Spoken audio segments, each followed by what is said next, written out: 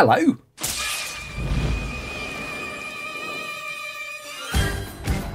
This is Simon Brew. I'm the editor of Film Stories magazine. And a very, very warm welcome to an explosive episode of the Film Stories podcast. Come with me. and I show you how deep the rabbit hole goes. And movies. Movies that had stories. that the story just sucks them in. This is just the beginning. Stories. We would be honored if you would join us. Hello and a very warm welcome to Film Stories with Simon Brew. I am Simon Brew. As always, that's absolutely everything you need to know about me. The aim of the podcast, though, as the title gives it away, really, I'm here to talk of the stories of film, and I tend to talk about development stories, production stories, marketing stories, behind the scenes stories, all the bits and bobs that go to make the films that we know and love just that, the films that we know and love. Well, sometimes love anyway, although I do really like the two films I'm talking about in this episode. The films I tend to choose for this podcast, well, they have more of a mainstream leaning than anything, I guess. Uh, they're films I'm interested in or invested in to some degree. I try not to do snark. I try not to punch down. Um, I just think it's a real job and a half to get a film made, and this podcast is a salute, really, to the people who manage to do just that. I'm going to kick off then. I think the intro is pretty much given away where I'm going. Uh, I'm going to kick off in 1996. I'm just going to play you a clip from the first of the two films I'm talking about in this episode. We'll come to the story the other side of this. I'll show you something, Ethan. Since your father's death, your family's farm has been in receivership. Now, suddenly, they're flush with over 120 grand in the bank. Your father's illness was supposed to have wiped out that bank account. Dying slowly in America, after all, can be a very expensive proposition. So, why don't we quietly get out of here onto a plane? I can understand you're very upset. Kittredge, you've never seen me very upset. All right, Hunt. Enough is enough. You have bribed, cajoled, and killed, and you have done it using loyalties on the inside. You want to shake hands with the devil, that's fine with me. I just want to make sure that you do it in hell. I think it's worth starting by just recognising how brilliant Henry Czerny is in that clip and in that film. There he is chatting to Tom Cruise in 1996's Mission Impossible, directed by Brian De Palma, screenplay by David Koepp and Robert Towne, based on a story by Koepp and Steven Zaillian, in turn based on the TV series Mission Impossible by Bruce Geller. Cruise uh, leads the cast, which also includes Jon Voight, uh, the aforementioned Czerny, Emmanuel Béart, Jean Reno, Ving Rhames, Kristin Scott Thomas, Vanessa Redgrave, and Emilio Estevez, all in the ensemble for this one. It really is an ensemble movie as well. So let's go back to the 1990s, inevitably, which when the story of how this came into Tom Cruise's life at least began, because it was it, uh, towards heading towards the middle of the 1990s that Cruise decided it was time to set up his own production company. Along with his producing partner Paula Wagner, he set up the cunningly entitled Cruise Wagner Productions, and he was soon on the lookout for his first project. Now, separately, Paramount Pictures had the rights to the Mission Impossible TV series, and it was one of a series of television shows it had been looking to uh, to bring to the big screen. I mean, it had been trying to do this one for some time, but you know, you go back to the nineties, it was it was juggling The Saint, it was juggling Star Trek movies, and when Cruise learned of a, a possible Mission Impossible project, well, he was interested. He'd been a fan of the TV series as a kid, and he, he liked the idea of bringing this to the big screen, a big gadget filled blockbuster movie that's only right up his street. Now, Cruise and Paramount had worked together a few times. Top Gun is an obvious 80s example. The troubled Days of Thunder at the start of the 90s. I will come to that at some point in the podcast. Then in 1993, he was working with them on The Firm, based on the John Grisham novel. I'm coming to that in a future podcast.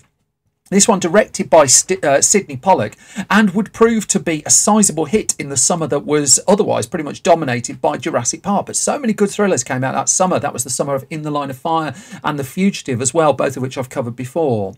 Now, to this point in 1993, Paramount had spent over a decade trying to get a Mission Impossible film moving. And at one point, um, it, it basically decided to cut its losses and, and uh, bring, bring the show back as a TV program in the late 80s. But that didn't really take off. So, what really put this back on the radar was the biggest movie star, one of the biggest movie stars in the world, voicing his interest, seeing it as a natural project for his new production company, uh, Paramount very, very keen to stay in the Tom Cruise business. And but it wasn't just that. It's also worth noting that the success of The Fugitive at the box office in 1993, itself based on a TV series of in and around the same era, um, was a, a, real catalyst to uh, re- reigniting interest in a Mission Impossible film. The Fugitive got a Best Picture Oscar nomination as well as making a, a, a ton of money for Warner Brothers. Paramount liked the sound of that. So the project was on. Was on board, and initially it was being developed with the director of the firm, Sydney Pollack, and they worked on getting the project moving. Cruise hired the first scriptwriters, uh, Gloria Katz and Willard Huyck, who'd penned Indiana Jones: The Temple of Doom to do the first script, but he ultimately had to fire them, and he talked about this in a Premiere magazine interview around the time of the uh, of the film's release, where he described it as the worst feeling. He was in his early 30s still at this point, and this was was the first time he'd had to take on producer reins on, on juggling such a major blockbuster. Now, with Pollack, uh, uh, wasn't going to direct this. He developed it for a little while, but it was clear in due course that he wouldn't be helming the movie when it when it ultimately went into production. And so there was the search for a director. Now, the only other name, uh, apart from the person who ended up directing it, that I can find in the mix for this was John McTiernan, and I'm quite, not quite sure where in the chronology of the story he fitted, but obviously he was he was a big deal after Predator and Die Hard at the end of the 80s. The Hunt for Red October had come along in, in 1990 as well, and so McTiernan was a go-to director for Hollywood, but for whatever reason, he didn't end up attached to Mission Impossible. Instead, well, Tom Cruise and director Brian De Palma had met in and around the time of 1987's The Untouchables. Now, coincidentally, The Untouchables was a Paramount project based on an old TV series that would go on to become a, a big blockbuster success, although it wasn't uh, posited at that at the time. It also won an Oscar as well. Um, and after that film hit big, De Palma, off the back of that, well, he had currency to get some other more personal projects off the ground. So he went and did Casualties of War with Michael J. Fox and Sean Penn, the infamous Hollywood flop The Bonfire of the Vanities, based on the novel by Tom Wolfe and starring Bruce Willis and Tom Hanks both playing against type. That really excellent book on that film, written by Julie Salamon called The Devil's Candy. I hugely recommend checking that out. When The Bonfire of the Vanities uh, fell at the box office, well, uh, De Palma went through career rehabilitation. He was in movie jail, really. And so he did a low key project next, the underrated Raising Cain, starring John Lithgow. And then he shot for a commercial hit again with a film I've covered before in film stories, uh, Carlito's Way, starring Al Pacino and Sean Penn again. Now, Carlito's Way was well well reviewed. I think it's a terrific film but it's got some terrific set pieces in it as well. It didn't quite do the box office that had been hoped for. Universal had backed that one, but one person who really loved it and certain sequences within it well, that would be Tom Cruise. So they, they'd known each other to this point for a few years. And in an interview in Empire magazine in August 1996, Cruise then tells the story of how he and his then wife, Nicole Kidman, were at a friend's house for dinner, which Brian De Palma was also at. And on the way out of that dinner, he turned to Kidman and said, Well, what about De Palma for Mission Impossible? And so the two met up, and after, uh, after a conversation or two, De Palma was interested. He signed on the dotted line. And he was also savvy. I mean, he knew he needed to do a big commercial movie next, that Carlito's Way hadn't quite got him fully out of movie jail. So if someone was going to come and offer him a big blockbuster to do, he was going to do a big blockbuster. He was going to do it his way. De Palma, a very individual, individualistic director. I love a lot of De Palma films, uh, including this one. But there was going to be a bit of a journey still to get this going first and foremost, an overhaul of the story. That the original script that had been penned, well, that wasn't going to pass muster. And so De Palma wanted to bring in Steven Zaillian, who just won Oscar for Schindler's List.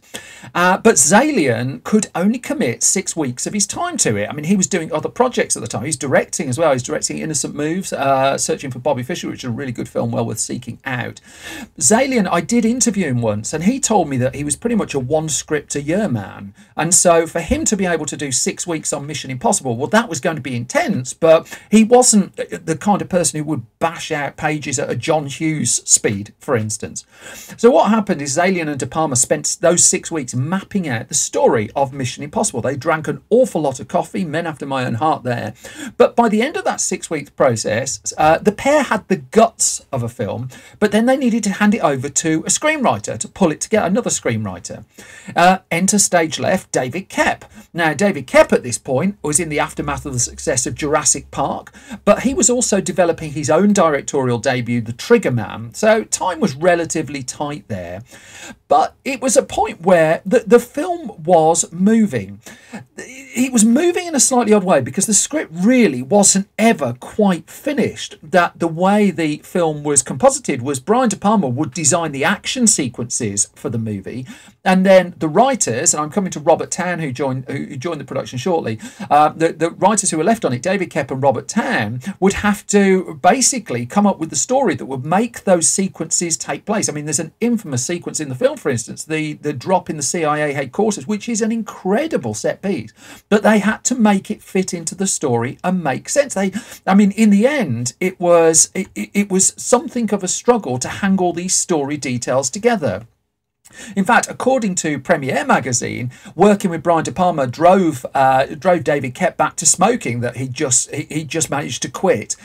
But then also, time was ticking for him. His film, The Trigger Man, was now the trigger effect, and he had to go off and make that. So at that point, when he needed to move on, Tom Cruise, producer Tom Cruise, put in a call to screenwriting legend Robert Towne, for written the script to Chinatown, for instance, and then Towne would come in and would help organise the beginning, middle, and end of the story. But then Koepp and Ta- Koepp came back to the project, and Towne kept working on the project. And there's a really interesting interview in a book from Patrick McGilligan called Backstory 5. And McGilligan, in that, interviews an awful lot of screenwriters. And David Koepp talks about the process of Mission Impossible in that one. And he talks about the tension of writing the film, where it was over to him and to Towne to get the film done. There are lots of drafts of the script on Koepp's website. And Koepp's quoted as saying, This one had a particularly snarky back and forth process that hurt my stomach lining. He, Robert Towne, is a fine human being. It's just we were put in a position where we kept rewriting each other, and that's not a great basis upon which to begin any relationship. Koepp then talked more broadly about the process of Hollywood, and it's important to note he wasn't zeroing specifically on Mission Impossible when he said this, but also the, the, it was basically the next bit of the interview. He says, You work for a while and you think everything is going good, then they fire you and you're angry, and you, they go away telling you that we're very sorry, but you made us do it. Then there's some, someone else for a while, it doesn't work, and they come back to you and say, We're so sorry, please take us back. And so Koepp and Tan would basically interweave on the script. I don't think there was ever a point where they were sat in the same room working side by side on it, and it was it was tense. But then the shooting of the film was tense as well. Not even got to that because got to do the casting. The casting. Well, Peter Grave, who played Jim Phelps in the Mission Impossible TV series, for instance, he was offered a chance to return in the show. In fact, the director of the original TV series was also hired to come onto the set, but De Palma said, "Lovely to see you, but what I'm doing is very different." And said director then just just went. I don't think there were hard feelings there. Less so in the case of the original cast. And Peter Gray, due to a plot point. Um, I'm trying to go spoiler free here, but there's a significant plot point involving uh, the character of Jim Phelps, and he thus turned it down. He just didn't felt it fitted with the character. So instead, De Palma turned to Jon Voight, and he was cast on the pretense that the audience would think him to be heroic. Uh, in the role of his uh, of Jon Voight's wife in the film, Claire Phelps, well, Juliette Binoche was uh, was sounded out and was offered the part, but she was going off to make The English Patient and kind of didn't really want to do a big Hollywood blockbuster. So Emmanuel Aubert would instead come in and take that role on.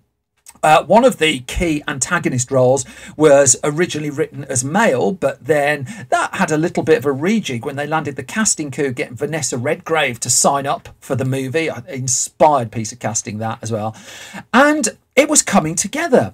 The budget was settled at somewhere around $80 million, which was originally more than Paramount wanted to spend, but its producer wanted big showcase action sequences in this. That this, in his mind, was a big blockbuster. And whereas Paramount had originally seen it for, say, a December 1995 release, Cruise felt this was a bit more high summer, and in fact, the film would uh, just overrun anyway, and thus that Christmas 1995 release was not going to happen, and it would come out in the May of 1996. I'm jumping ahead a little bit there. It's worth noting that one thing that offset the uh, expensive budget for this was the fact that a deal was struck with Apple to and Apple Computers' reputation at this point was a little bit in the mire. It was seen as commercially floundering, and compute its computers were a little bit out of date and not quite competing in the way they did now. And so they lent the production prototype computers and put somewhere in the region of 10, 15 million dollars of promotion wrapped in and around Mission Impossible. Nonetheless, in March of 1995, Mission Impossible was ready to go before the cameras, and the shoot was said to be quite a difficult one. And th- this was reported in a couple of set visit articles. And I'm citing the one from Premiere uh, in June 1996, where they interviewed Cruise extensively about this. And what's interesting in that article is they talk of tensions that have been bubbling up in the trade press during filming in London that that De Palma and Cruise weren't always seeing eye to eye. And it's quite interesting that Cruise doesn't really refute that in the article. It's a long way from saying absolutely happened, but there was still a little bit of, mm, a little bit of grey area. The film shot primarily in London, but also in Prague. Now, the decision to go with Prague was at that point, a European city that had rarely been seen in blockbuster cinema, so they wanted to do something a little bit different. But also, shooting in Prague on location brought with it significant lighting challenges, that there are night sequences in there that uh, uh, uh, they had to work with the natural lighting of Prague, but also throw in a degree of artificiality just to make it look effective and almost like an old school spy movie on film. So that was a challenge and a half uh, as well. Going back to David Koepp, and he talked too about, let's just say, some of the creative to and fro on the film. And he would say, yep, no shortage of opinion on this movie. No one was going to roll over and let the other's creative opinion rule the day. We all have egos. Cruise himself would admit there were a couple of people who were saying on the set of this one, no, we can't do that, no, we can't do that, when certain ideas were coming up and uh, to make it bigger, to make it more interesting. And I don't, th- I think it's fair to say that people who say no and we can't do that to Tom Cruise don't tend to last an awful long time on his productions. I don't, I think that I wouldn't declare that that's his particular ethos. This was also the moment as well, this film, when Cruise's legendary stunt work on the Mission Impossible films began, of course, inevitably, because it's the first film. But it's worth noting that he was doing the stunts right from the start. So there's a moment in this, for instance, that involves um, a quite difficult flip to do on a moving train. Yeah, did that. The hanging from the ceiling sequence in the CIA headquarters, well, he did that as well.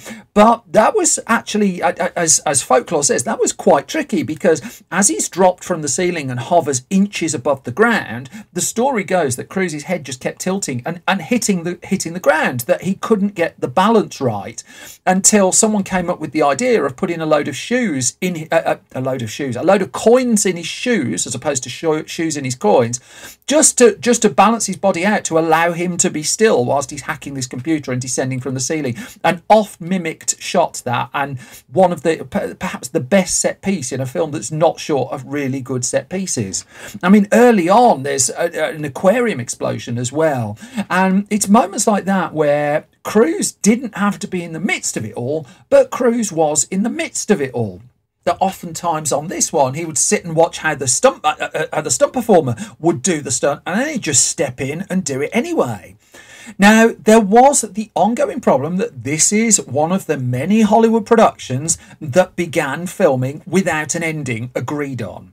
And as the premiere report noted, it was the movie that would not end. And it talks about how Robert Towne was getting faxes at 4 a.m. in the morning back in America, and how that town went to Koepp and to Towne, and the, there were ongoing call for revisions to the script, all prime mostly Brian De Palma's doing because he wasn't happy with where the where the ending was going. It was in constant flux. They were consistently rewriting it throughout production. They couldn't quite nail it.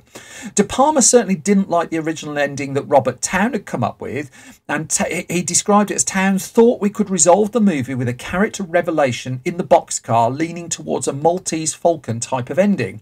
De Palma, though, well, he said, I'd constructed a high speed chase scene on top of the train, and I thought the movie needed this visceral ending to work. So, who's going to make the call between what the director of The Untouchables wants and what the writer of Chinatown wants, which is ultimately what it came down to? That Cruise came in and, and they looked at uh, Robert Towne's ending first and, and looked at giving it a try, but then Cruise defaulted to De Palma. He thought this needed to go big. Now, Towne, in uh, an interview afterwards, would say it was a little bit more complicated than that. But what the hell? I went out and working on his ending and kept working on his ending and kept and they kept some of the things that I had. It was actually the same thing that happened with Chinatown. He argued, and the script for Chinatown was notably in, in regular flux as well. But then that's a story and a half for another time. Now, Cruise mediated between the pair. Towne knew Cruise from working with him on Days of Thunder, and then they elected to go with the train sequence that took six weeks to shoot in the end at the 007 stage, primarily at Pinewood Studios. They brought in wind machines to blow gusts of up to 140 miles per hour into Tom Cruise's face. So, again, it's him in there, although there's some fairly obvious bits where there's blue screen, I would suggest. One person who was part of the train sequence was actor and comedian David Schneider, um, who then was appearing in Alan Partridge, and he was on the film for five weeks in all, but he had a clause in his contract that if his girlfriend went into labour, um, he had to be able to go. And he, he said in an interview, I think it was with Empire, he said in an interview with Empire that if his girlfriend had given birth early, the whole production would have had to come to a stop for for him to be able to leave and be with her. As it turned out, apparently she went into labour a couple of days after his scenes were shot. Now, there was one person in the midst of it all who did also rewrite the script, and that was the then anchor of Sky News, Bob Friend. Now, uh, what happened in the mid 90s? I mean, Sky News had been going for a couple of years, but I don't think I'm going a million miles out of my um, on, out on a limb here to suggest that not many people were watching it. Having satellite dishes on the side of houses was far less commonplace, but nonetheless, Sky News was chosen for a key moment in the film where uh, a plot moment happens. We're supposed to believe that people were sat in a pub watching Sky News, but there you go. And so Sky News anchor Bob Friend filmed a sequence for the movie, and he said that he shot it in one of the half hours that the the, the main Sky News studio wasn't being used for filming. He got the script of what he had to say and rewrote it into Sky News style. And in fact, by the time the film was out, he'd gone and landed a role in Independence Day too. And again, there's Bob Friend giving you the crucial news in that one too. The filming of the movie it went on. I mean, it wouldn't really. a couple of stories of when it finished. Some would suggest August 1995. I think there was work that was still going on to September 1995. But the important thing there is it had a knock on onto Cruise's next film, which would be a small movie by the name of Jerry Maguire. That by the time Mission Impossible was, he was on the promo tour for Mission Impossible. He was still in the midst of making that film. The release date for Mission Impossible would shift into the summer of 1996. It would actually come in as well, it's worth noting, under budget, this one. It came in pretty much, pretty much pretty much within a week or two of on time, but still had gone on overall a bit later than had originally been planned. The physical production, though, as tense as it was, they got what they needed in the can. However, going into post production, there was still an awful lot of work needed to get the edit right. And De Palma, in an interview, would talk about there was five months of post production at Industrial Light and Magic up at George Lucas's ranch that it didn't sound like De Palma enjoyed at all. And he, he talked about people saying that sparkle when the cable hits the side of the tunnel looks a little artificial. We need more shading. And De Palma said, I was wondering when, when I was going to get out of there. While all this was going on, the trade press story continued to focus on, disagree- on rumours of disagreements and tensions between Brian De Palma and Tom Cruise. And this would, uh, uh, I mean, the fuel on that particular fire was when De Palma dropped out of doing promotional work for the movie. Now, a few years later, he would clarify in an interview with Premiere magazine while promoting the film Snake Eyes that he didn't have disputes with Cruise over the editing of the picture, but he was just exhausted. He said, I'll never forget forget when the guy came in to do the electronic press kit. I sat down in front of the camera and the guy said, Why did you make Mission Impossible? And I froze. There was, it's also worth noting, De Palma was going through a divorce at the time as well. Um, and and the, the process had, in, to paraphrase him, pretty much wiped him out. There was um, a significant change that took place in post production because Alan Silvestri was originally hired to do the score for the film. He'd written about 20 minutes of music for it as well. But when the movie was test screened, well, his score was one of the one of the things that audiences grumbled about. So instead, what he would do, and the story goes, is he took some of the cues that he'd done originally for the Mission Impossible film worked those into his score for Eraser, which came out the same summer. And there are reportedly bootleg versions of his score around there, but Danny Elfman came in pretty much at the last minute to do the score for the movie. When the film was starting to be screened, well, among those who weren't happy with it were the cast of the original TV show. So you've got Greg Morris, who played Barney Collier on the small screen. He walked out of a screening of it, disgusted with the way that Mission Impossible had gone and the characters were being treated. Graves was, again, unhappy with what happened to his character. Martin Landau had talked about how the old team were going to be invited back just to be killed off, and he was having pretty little shrift with it. Um, the critics, when they got to see the movie, well, there was a, a, lot of to and fro about whether this was just a really confusing plot. And this was something that the writers acknowledged as they were putting the movie together that uh, there's a degree of explaining required, and you had to hold on to your pants a bit just to kind of keep up with what was going on. Even then, was it particularly easy to decipher? Well, they, probably not. I, I think they pretty much conceded that. However, the film quickly became a big deal that it was released in American cinemas across Memorial Weekend, so May the 24th to 27th in 1996, and it flew out of the traps. It was a, a huge, huge, huge opening weekend. Um, it was released, it was the first film to be released in over 3,000 screens in the US, apparently. It opened on a Wednesday with $11.8 million. That broke Terminator 2 Judgment Day's record, and in its first six days, it had picked up $75 million. It was smashing records left, right, and centre.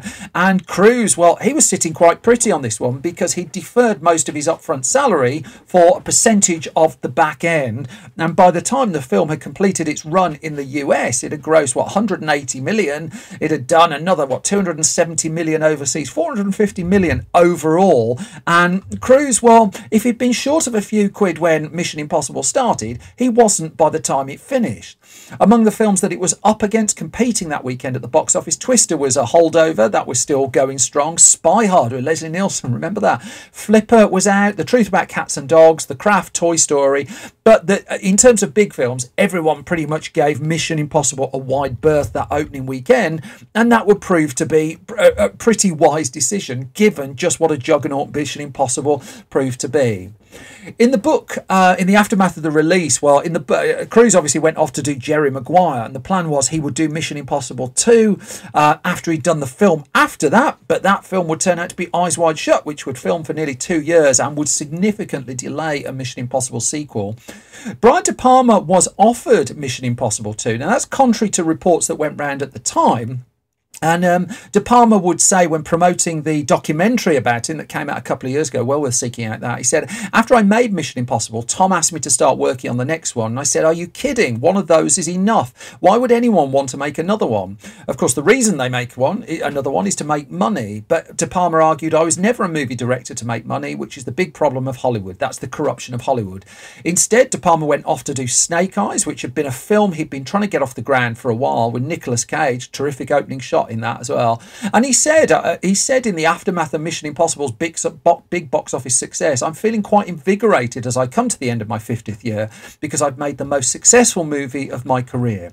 It would also remain the most successful movie of his career, but then across De Palma's films, he's made a, a, a collection of significant films. It's just over time, as the box office receipts have shrunk, the films, uh, the, the ambition of the film seems to have just got smaller and smaller and smaller. However, with the first Mission Impossible film in 1996, lightning did really strike, and it would, of course, go on to ignite a franchise that's still going to this day. Uh, I've covered Mission Impossible 2 in a previous podcast. I'm sure I'll get some of the other sequels. For me, though, at the moment, as much as I love some of the later ones as well, it's the first one I think is really special.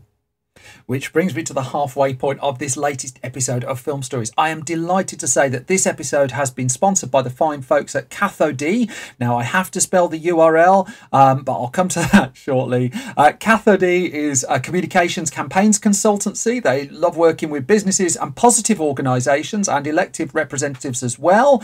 They believe, but their ethos is that good people deserve good communication support, and so they work with companies and people that share their progressive worldview. They deliver campaigns that don't cost the earth. Two decades of experience in social media campaigns, digital content, traditional media engagements, and they go by the they go by the ethos of we deliver good comms for good people that don't cost the earth. Now I've got to spell this URL. It's www.cathoduu.com, cathode, or you can email hello at ch oh god hello at c a t h o d d u Com. They'll do special rates for film stories. Listeners, uh, just quote FS 2021 uh, if when you get in touch. And th- my, my huge appreciation for them supporting me. Also, this is a podcast that's entirely independent. It is me in a room. I hugely thank sponsors. I hugely thank Patreon supporters at patreon.com slash Simon Brew. No shout outs for them this week have been requested, else I'd do them. Um, if you can possibly subscribe to this podcast at your podcast repository of choice, that helps me enormously Likewise, if you can leave ideally a hugely positive review, I don't have marketing budgets or anything posh like that. It's just me battling on. And now, though, I, I, think I've done enough plugs just for the minute. I want to get on with the second of the two films I'm talking about because I'm staying with action movies, really. Only this one's got Meryl Streep starring. Let me play you a clip from the trailer going back all the way to 1994.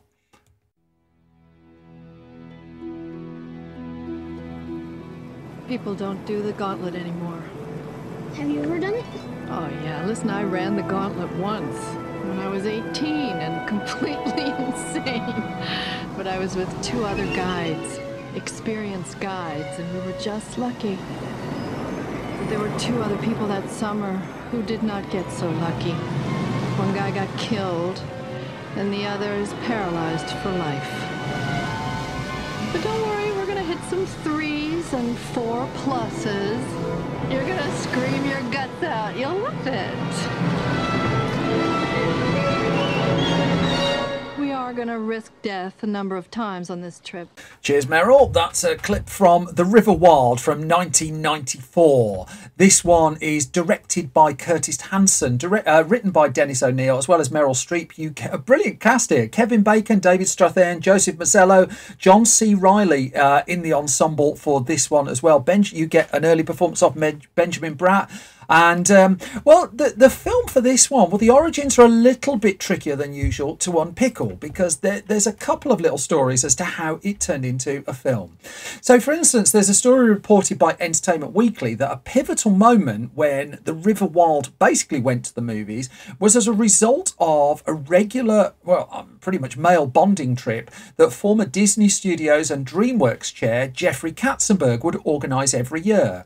That each year he would invite 20 or so Hollywood players, so uh, studio people, agents, etc., etc., on a river trip down the Colorado River for a cost of what about six, six and a half thousand dollars a seat, and uh, as as Ju- the Jewish Journal described it as an annual rafting trip on the Colorado River, invitations to which are among the most sought about in town and so, sought after in town. And uh, of the films that were reported to have come into life as a result of all these power brokers going in a boat down the river were films like The Running Man and Top Gun, and another one was cited, which was The River Wild. Now, I was exclusive chums. I wasn't on that river trip, so I don't quite know what was the catalyst. But this Entertainment Weekly article is insistent that it was one of the movies. Now, the other story of the origin go back to writer Denis O'Neil, the only credited screenwriter on the movie. He took a trip on the Smith River in Montana in the US, and he also saw a magazine article, a non fiction article in a magazine called Fly, Rod and Reel. I confess I've not read Fly, Rod and Reel. I bet it's really good. And he, uh, uh Denis O'Neil was a fan of fly fishing, and it was this article that he saw was based on a, a, a fishing trip down the Smith River. And O'Neil also took that trip. He described it as beautiful and remote, but once you get on that river, you can't get off. So he started fashioning an action movie on this river. Now, coincidentally, a producer by the name of David Fisher, well, he had been trying to get a river based uh, action movie off the ground, uh, a set in around Whitewater Rapids, all that kind of stuff, since to, well, really about the end of the 1970s. And finally, for whatever reason, I confess I couldn't get to the exact moment when this happened, Denis O'Neil's script came onto his desk and he realised that he had it. Now, in 1994, an interview with the late director Curtis Hanson in the New York Times, well, Hanson would describe himself uh, would be described as a high school dropout and self-confessed quasi beach bum who still surfs and plays volleyball near his home, his small home in Venice Beach. Now, at the point um, that the River Wild was sent to him, Curtis Hanson had just had the biggest hit of his career. He'd done films like Bad Influence starring James uh, James Spader to that point, but he'd made for Disney The Hand That Rocks the Cradle, which gave Rebecca De Mornay a huge hit, gave Disney a huge hit, and all of a sudden Hanson was a go-to director for Hollywood executives looking for someone to steer their next project. After he'd done The River Wild, his next film would actually be LA Confidential that I've covered before, which would win him an Oscar. But this was a man who'd grown up with surfers. His final film actually was Chasing Mavericks. That's I think it was Michael Apted came in to finish because of Hanson's illness. Um, and he felt when he saw the script of The River Wild, it was sort of about the people that he knew. Uh, one thing he knew too was that once he'd opened the door to action cinema, he would get quite a lot of scripts, and apparently that happened.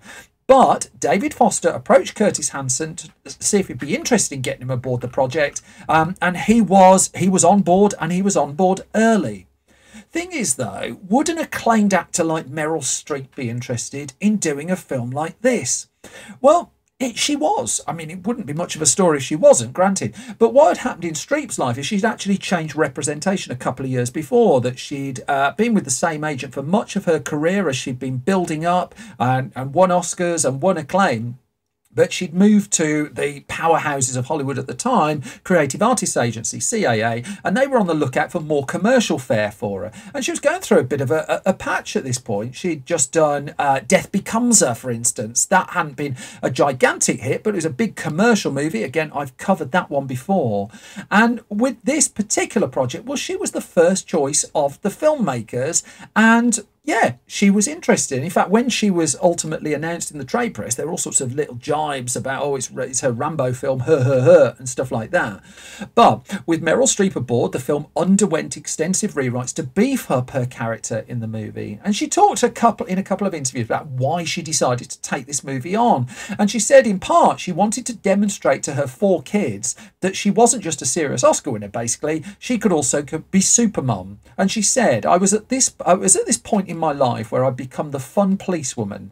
I was always saying to my four children, be careful, don't do that, watch her, she's going to fall, get down from that, you're going to kill yourself. That, uh, and then she reconciled, well, they're reckless and they're fearless, her kids. They just go out and career throughout the, uh, through the day.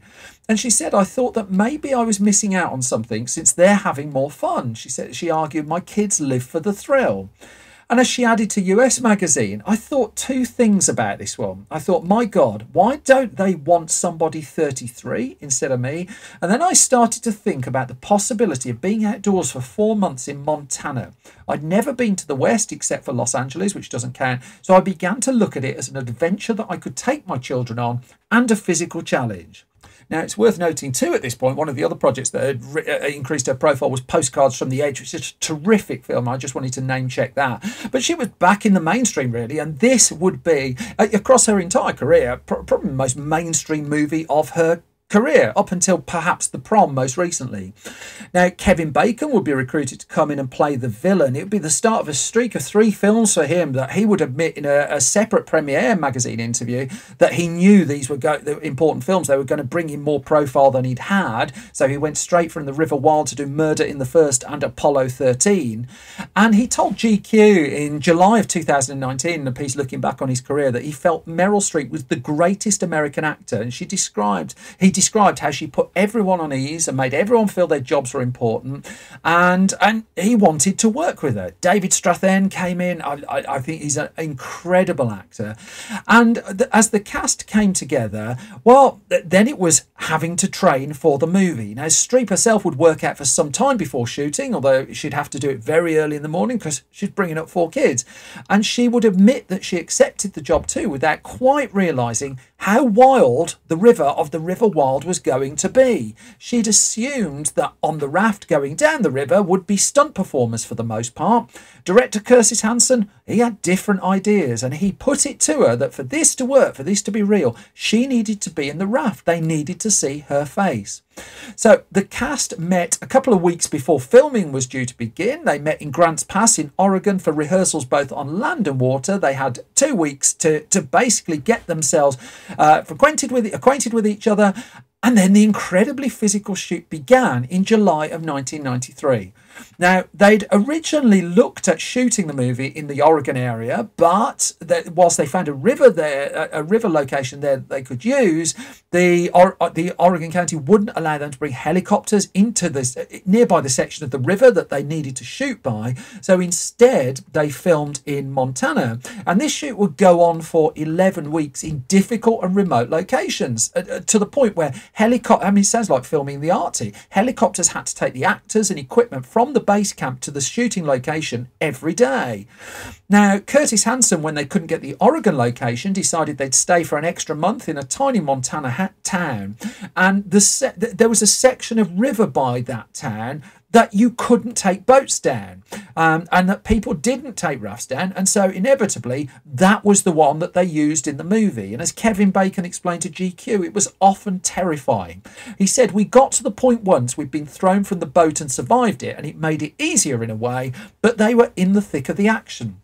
Now, they had looked at stunt doubles at one point. He said that there's a little bit of stunt work, apparently, uh, stunt double work in the final cut, but not as much as you'd think. And what Bacon described is they experimented with a life mask that a stunt performer would have, for instance, a face mask of Kevin Bacon stuck to their face while they rafted down the river. The problem being, uh, they had one done for John C. Reilly as well, and the problem being that these masks had such an expressionless stare that they just didn't work. It was blatantly obvious. It's like they'd been frozen in a Doctor Who episode or something, and it made them unusable. And so Bacon said it was pretty much us all the time. The person, though, who came closest to absolute peril, and she turns up in a lot of internet lists for this particular anecdote, was Meryl Streep because she'd been going through a very long shooting day and there was a take that Curtis Hanson had asked her to do again when she she shot a sequence of coming down uh, of coming down a river on a raft by herself a white water stretch but a camera on a raft had failed to catch the shot that Hanson needed. So Hanson said will you do it again? And she said well I'm tired I'm you know but he asked her she did it her raft capsized and for a minute there she was underwater. And they had they had uh, kayakers nearby in case anything had gone wrong and one of them had to rush in and haul her up. Now she wasn't happy at being asked to do the sequence again at the end of the day in the first place and she had her say and whilst she and curtis hanson very quickly made up and streep would turn up the next morning and shoot the sequence again and it would all go to plan there were moments where there were disagreements about who should be doing what and when and what was reasonable to ask people to do now, uh, Streep's version of that story, she told the Orlando Sentinel, she said he needed just one more take, and really this particular stunt looked like nothing. The boat surfed down into the hole, rose and flipped over, and I went into the river. I remember sinking down to the bottom with this powerful and freezing water pulling me in deep, deeper.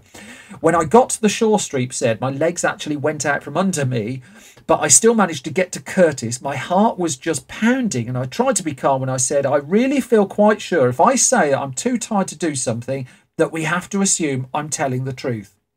In fact, there was an anecdote as well that did the that did the rounds around the time of the film's release that Curtis Hanson in his uh, in his earlier years, well, he he'd done some magazine writing work and had spent some time with Don Siegel, the director of films such as Dirty Harry, of course.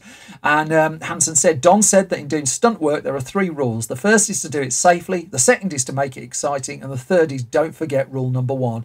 And he had a, a, a, a reminder and a half of those rules.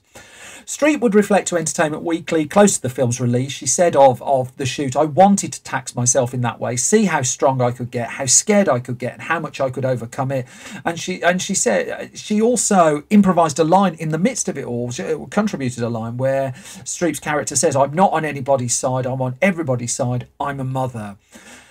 The film, uh, I mean, it started shooting in the summer. It wrapped up in November of 1993. I mean, it looks cold when you're watching it. I've got no idea what it was like in November 1993 in Montana, but let's just assume a coat or two was needed.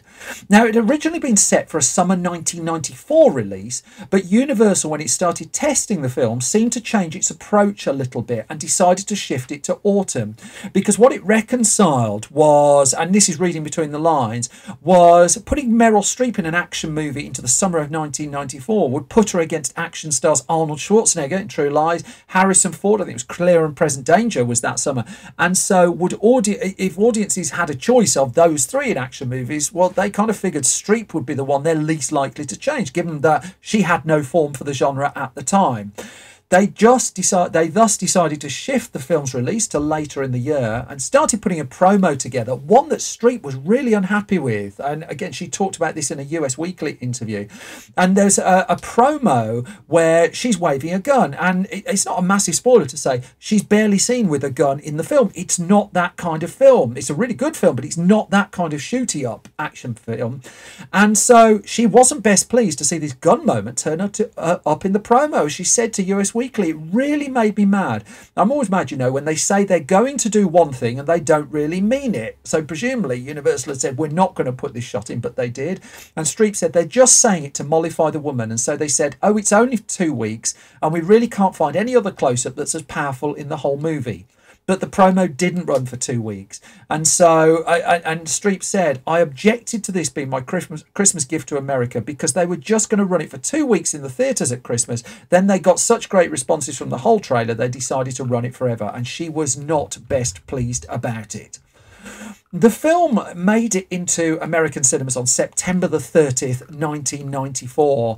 And the reception of it, I mean, it was pretty mixed, really. That the, the action sequences were given particular praise. The, the score's really good as well. And Streep's performance in there, just great. Um, also, Kevin Bacon came in for particular praise as well. But the predictability of the movie kind of counted against it. And also, there'd been an awful lot of action cinema in Hollywood that year as well.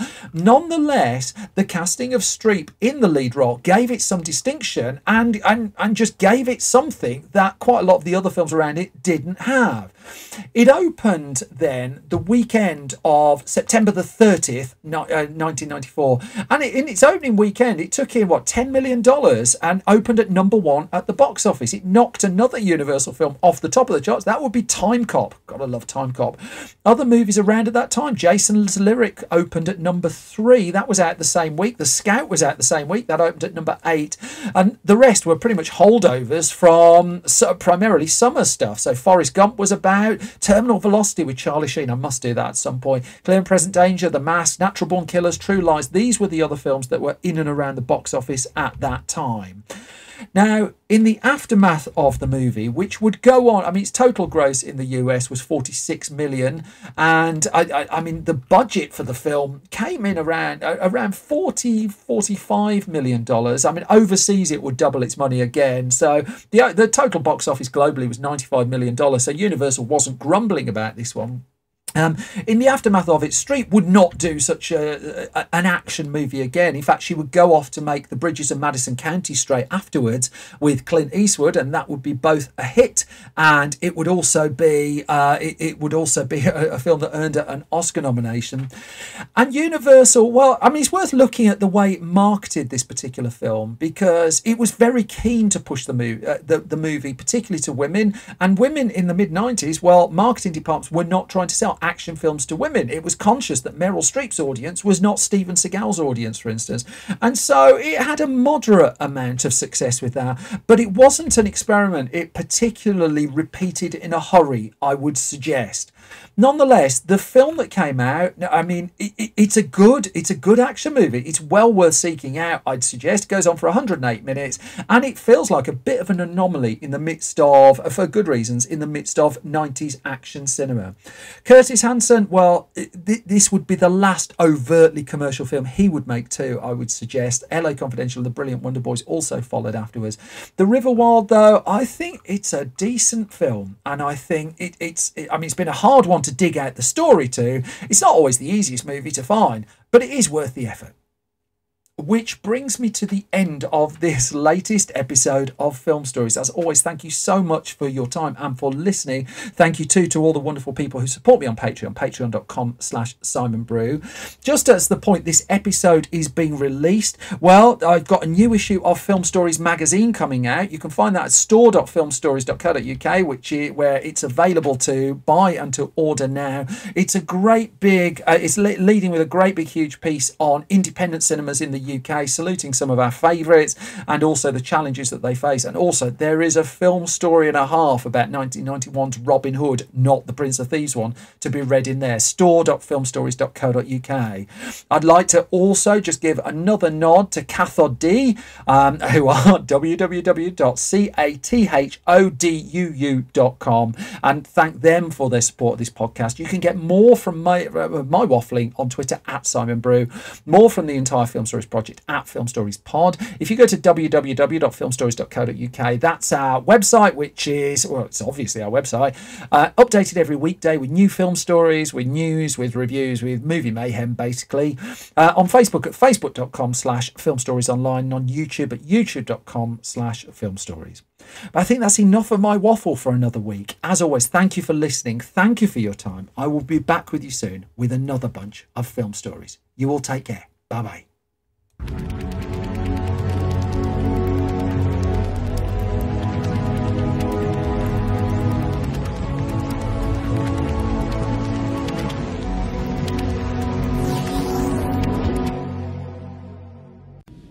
This tape will self destruct in five seconds.